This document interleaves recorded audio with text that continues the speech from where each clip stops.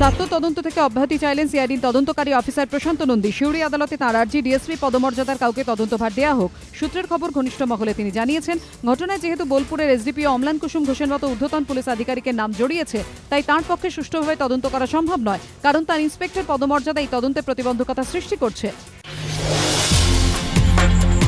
বোলপুরে থানায় ঢুকে পুলিশ পেটানোর মামলায় শাসক দলে দুই নেতার আত্মসমর্পণের দুদিনের মধ্যে চার্জশিট পেশ করেছে পুলিশ। গতকাল জামিনও পেয়ে গিয়েছেন দুজনে। আজকে পুলিশ ওই কেসটাতে চার্জশিট সাবমিট করেছে। যে কারণে যা তাদের যখন আর ইনভেস্টিগেশন শেষ হয়ে গেছে আলটিমেটলি তাদের তো আটকে কিছু লাভ নেই, সেই কারণে আজকে তাদের জামিনটা মঞ্জুর হয়েছে। পুরোপটের মুখে তৃণমূল নেতাদের রেহাই দিতেই কি এটা পুলিশের কৌশল? সুদীপ্ত ঘোষকে এবার এই পথে হেঁটে আত্মসমর্পণ করবেন? প্রশ্ন তুলেছেন বিরোধীরা।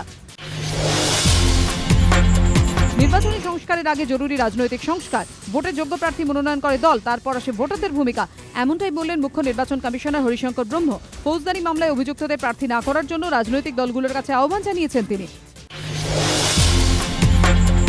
দল ভাঙানোর অভিযোগ খারিজ করলেন তৃণমূলের প্রাক্তন সর্বভারতীয় সাধারণ সম্পাদক Mukul Roy I denied all the charges brought against me.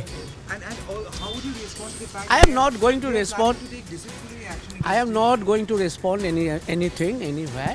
But the charges which they have brought against me, I have denied all the charges. Even the capacity to hatch conspiracy, conspiracy they have got not it.